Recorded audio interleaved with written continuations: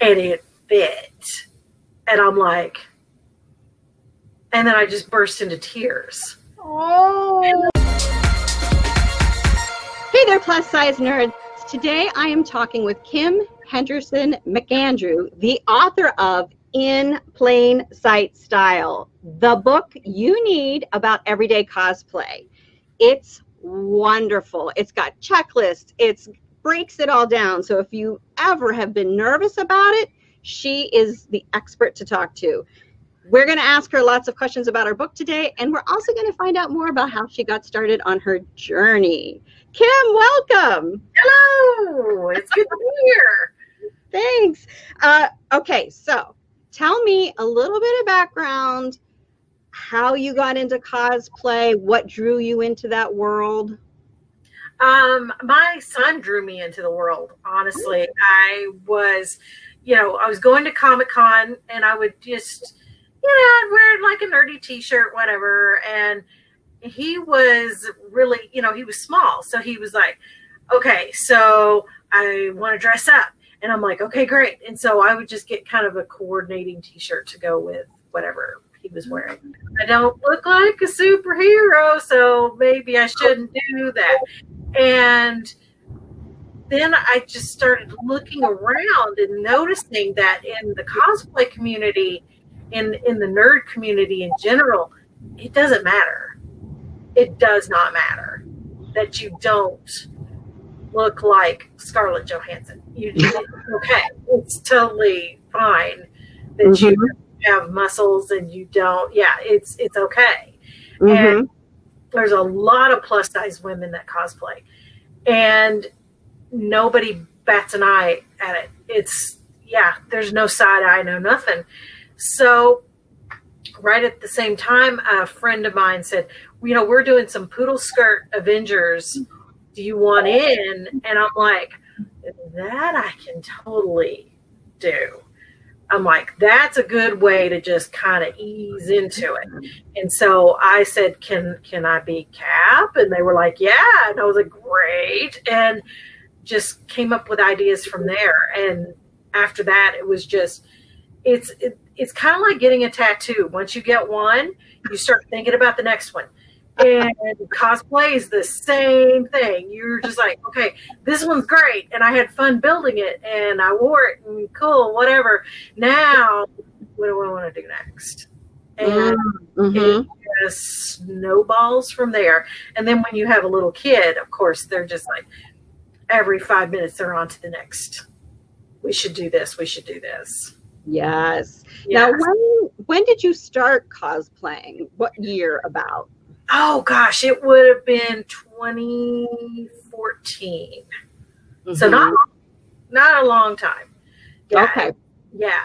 I was trying to picture because before 2008, before the first Iron Man came out, it was still kind of difficult to find a lot of oh, yeah. nerdy kind of pieces and stuff. But it sounds like you started kind of as the wave was starting. Oh, I yeah, I was so lucky because it just couldn't have been easier to to do this, and it was right after you know her universe started.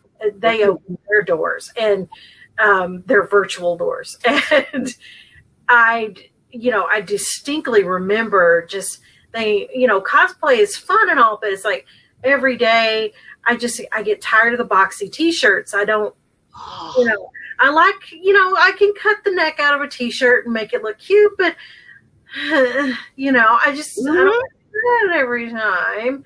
Mm-hmm. And I remember, oh gosh, I remember it like it was yesterday. It was I was walking around um, Comikaze, which is now LA Comic Con. It takes place usually around Halloween. And there was this little table set up and it said her universe and it had like a Boba Fett dress and a Darth Vader dress. And I was like, oh god. I'm like, you know, they're so cute. And I would love that so much, but they're not my size. They're not my size. And so I walked up to him and I just said, what size do you go up to? Expected to hear. We go all the way up to extra large, you know. Right, right. Yeah, thanks, and then leave.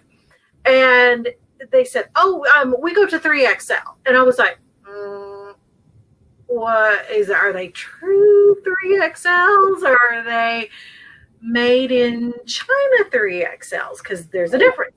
And she was like, "Oh no, they're true to size." And this girl was, you know, thin and cute, and just, and I was just like, "Oh, she's so cute and adorable. She really thinks this is gonna fit me." I'm like, I said, "Okay." I said, "Here's the thing." I said, "If I buy this dress and I go to the bathroom, which is in sight line from your booth, and I try it on and it doesn't fit because it's not going to." I said, Can I bring it back? And she was like, She goes, You know what? She goes, It's going to fit. And normally I would say no, but I'm going to tell you yes because you're not going to bring it back. And I said, Hmm, okay.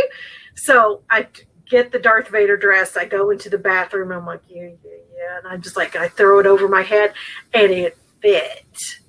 And I'm like, and then I just burst into tears. Oh, And like, outside, oh my god, she was like, "Are you okay in there?" I was like, "I was like, yeah, oh my, the dress fits, nothing ever fits." Oh my god, you know, I've just completely had a cow, and so I go back to the booth, and she's got her arms folded and everything. She's like, "Mm-hmm," and I said, "Fine, give me the R two D two one too."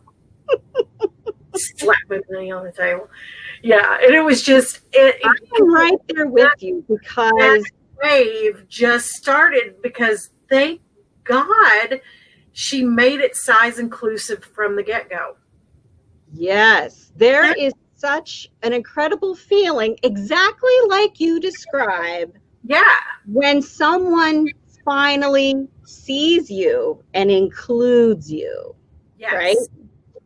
yes. We've we you know when I'm I did get to meet Ashley at a, a convention once, and uh, I just I happened to be at the Her Universe booth when she showed up to just say hi. this was in the early, days and and i just and she said oh, she goes i have you on my screensaver. And i was like you you do? And she was like yeah the the picture you posted with the star wars sheets that i turned into a dress she goes oh yeah she goes i have you know different instagram posts where i get tagged and i have them on my wallpaper she goes it's to Oh. remind me you know who I'm who I'm doing this for. And I said, oh my god, you know. And I said, I just wanted to just tell you, thank you for inviting me to the party too. Yeah. I said, you didn't have to, because she's tiny. And I said, Oh, "You didn't- no. I said, tiny. you didn't have to invite me to the party, but you did. And she's like, yeah. She's like, your money spends the same way as everybody else's. And I said, that's what I've been saying. You know, In a So- lot of cases, probably more because we're so excited to find oh, geeky clothes that actually fit. yes, I know. I'm just like, yeah, just like take, you know, take all my money here, here, you know, pile Well, it all in. first- the first time you cosplayed, though, like you felt great buying these clothes because they finally fit, but the first time you truly wore a cosplay, describe that experience. Like, were you nervous? Were you excited? And then how did it transform? Um, because I eased into the poodle skirt thing first, and it was very well received. I mean, we were. Um, It was adorable. I it was so much fun to wear. It was comfortable. It was you know it was great, and we got you know and I got stopped so many times. Just you know, oh my god, I have to take a picture of that. That is so cute and clever. And I was like, wow, okay. And my first but screen accurate cosplay was um, Star Lord because I'm just I love Guardians of the Galaxy so much. Oh my god. And I was sitting in the theater. This is just terrible because I sit in the theater and I'm like, I could put that together. I could, yeah, I could find that. Oh yeah. And what color is that belt? okay, yeah, you know, I'm like taking mental notes. Mm-hmm. My son and I just like elbow each other during movies when somebody comes on that we want to cosplay. It's just like the elbows start, and I'm like, yeah, oh, I, I, I got you, I got you. We're we're going on Amazon as soon as we get in the parking lot. Are you kidding me? and so, um, it, the experience was great because I put it together. I was really proud. I was, you know, nervous, but at the same time, I had just been around so many people in so many different conventions and had seen, you know, enough plus size women running around in cosplay and feeling confident. And I would just look at their pictures and go, oh my God, they, they do look really, really good. And yes, they do have a stomach. And yes, they do have, you know, a big butt, but they look great, you yeah. know? So I really took them as an inspiration to just walk into the to the joint like you know I owned it. And and the Star Lord gear kind of gives you that swagger anyway. Mm-hmm. kind of gives you the swag. And it was yeah it was very well received. People were like oh my god that looks really good. You did great. And and it just encourages you to do more and more and more when you talk about putting together your cosplay, um, do you have difficulty finding pieces? Some things are going to be easy to find or replicate, but then there are going to be like props or belts or accessories or something. Um, so, how do you go about tracking all that down? If it's something that I really, really need and it's screen accurate um, I and I just I have to make the decision to spend the money on it. Mm-hmm. Like, this is going to be costy. I'm going to do it anyway. And the great thing about most these cosplay companies, Cosplay Sky, um, White Sheep Leather, and Sim Cosplay, they do custom suits. So I just got yeah, I just got my Captain America stealth suit. I am very excited to wear it. Um, it fits. They take twenty measurements from you. Wow. I mean, they measure your neck, they measure your your head, your like like three or four measurements on your eye. I mean, it's ridiculous what they measure on you. And so when you get that suit, it it's made for you yeah. and it costs like twenty dollars more to get it custom. And I'm like, wait, hold up, hold up. I'm picturing. I know it's like Are you kidding? Yeah, and they, it, yeah, it's like, oh, custom. It's like add nineteen ninety nine. I'm like, yeah, okay. I'm already spending four hundred dollars on a suit. Uh, yeah, twenty more bucks. I'm, I'm good. I'm good. That's and great so yeah so when i do you know think oh i'm gonna have trouble finding something you know because i can't just go on amazon and order the Rubie's costume stealth suit. It won't it won't look good on me. It's made for a man for one. And then for two it's just you know even if i get the you know the 3x men's it's just going to be the shoulders are going to be ginormous and there's just yeah it's just the pants are going to be ridiculously the arms are going to be flopping around on the you know and it's just silly. Which one um, is the stealth suit? Is it the winter soldier? Winter soldier suit yeah, yeah that's the okay. blue and marion and everything? Yeah. Yeah. Oh i can't wait to see it. Oh my god i'm so excited. Wow. Yeah. Now, how did you how did you track them down though to know that they would be able to make this custom suit for you? I did, you know, internet searches, but also the cosplay community. If you're, you know, ah. on Facebook, I just find people on Facebook, and when they have a really good looking suit, I just say, "Okay, where'd you get that suit?" And um, mm-hmm. and now I know just just from experience that white sheep leather if you want a cap suit that's where you go mm. uh, duly noted duly noted Right. They are the experts in the cap. They they do the best Captain America suits. Nice. All of the really good cosplayers you see in a cap suit, that's where they got their suit. That's Oh. where they got their suit. Yeah. You mentioned the cosplay community, and one of the things that I find fascinating is that I've had a couple people say to me who are outside kind of the nerd world, like, hmm wouldn't they be in competition with each other? Why would they share information? Why would they share tips and advice? What has your experience been with the cosplay community? There are a couple of people that you run into and you're just like, hey, where, you know, I was looking for duplicate necklaces for this cosplay. Where'd you get those? And they're very, well, a friend made them for me, Mm-hmm. you know, and you're just like, oh, okay, you're one of those. Okay, bye bye. Next. Um, but 99.9% of them, when you're, you know, just goofing around on Facebook, you'll get in your feed. It's like, oh, look, so and so, their new cosplay is like, oh, I don't know them. It's like, huh. I'm like, well, they liked cat cosplay Cap. I'm like, friend request sent, and it's like, friend request accepted. And if you just send out the thing, say, I'm working on this, they everybody's so helpful. Um, I I think the best example is uh, Scarlet Witch cosplayers.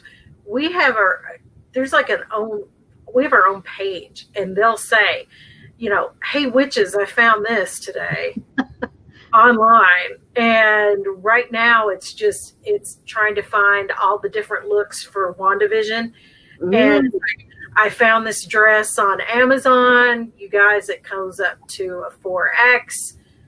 It looks like her 50s dress in the oh. trailer. Go get it. And and or you know, I found this great wig and it doesn't cost very much. Here's a link.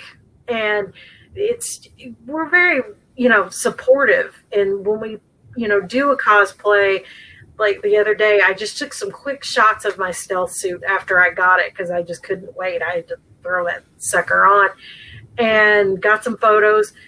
And people were like, oh, that's nice. And I was like, thank you. It's because it's not, it's, you know, unless you enter a cosplay competition, you're not in competition with other cosplayers. Right. That's what I have found too, that everyone is incredibly welcoming, uh, very warm, and very generous. Yeah. Let's talk then about In Plain Sight, the book. What prompted you to write the book? I just blogging over the years. I've just been like, okay, I really, yeah, that's I, that's my Star Wars. I love that cosplay so much. I can't wait for. You know, I want a new movie or something. Just an excuse to wear it again. Um, uh, but I've been kicking around an idea, you know, an idea for a workbook for a really, really long time, and um, there's there's an old, um, I think it's still in print. It's um, it's called Basic Face by Cindy Crawford, and she just and it's it's just a workbook of makeup, how to it was just a real game changer and i wanted to do something like that with cosplay that's really what my you know blog is for but i wanted to put it in one place so people can take the book shopping with them and have it by their side when they're building something and right. then You've got the workbook part of it in here for people. Yes. And, and I just really wanted to, because, you know, nerds are very like, they like to do things right. We like to, you know, we like to get a good grade.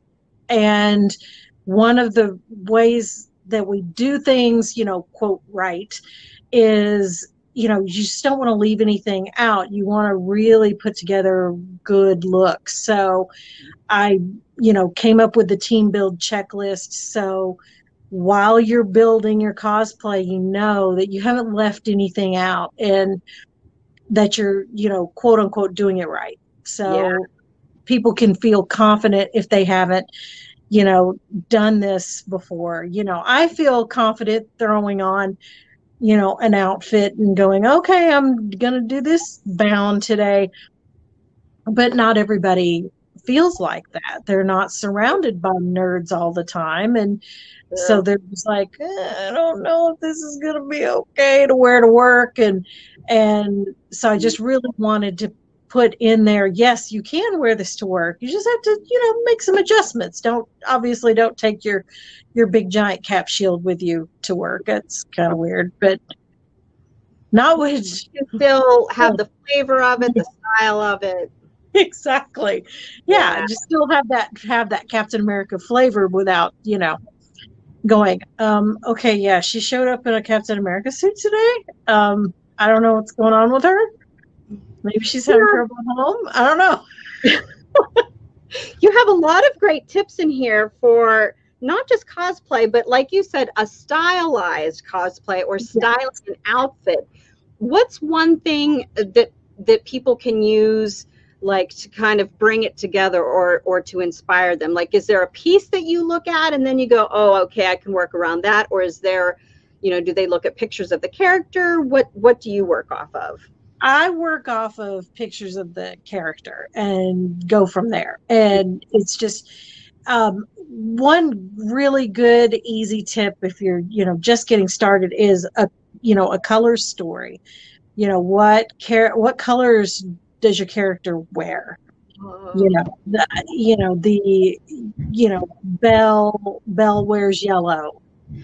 You know, to be really, you know, easy. You know, and you know in the different harry potter houses your colors are chosen for you your your house colors are your house colors and yeah.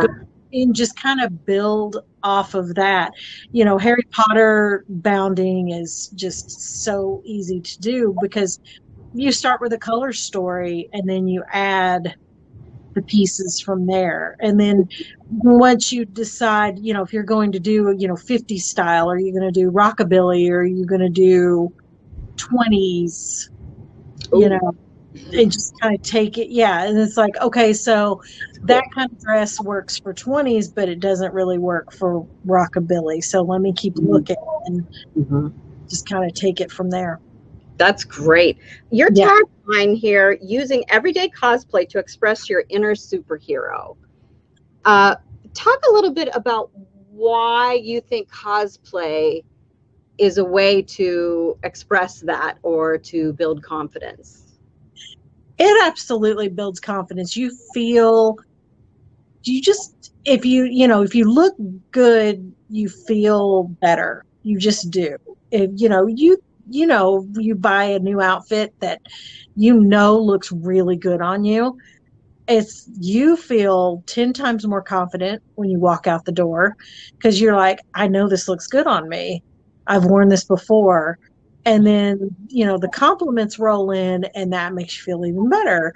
Mm-hmm. And cosplay just rubs a little bit more magic on top of that because you have you know it's like you have a you're wearing a captain america dress and you know it looks good on you and you get compliments for it but you also just you know just kind of have that just that kind of energy that captain america energy and it just makes you feel you know a little more powerful. You're representing that character. Mm, so you really want to yeah. just you know do better and just kind of be better.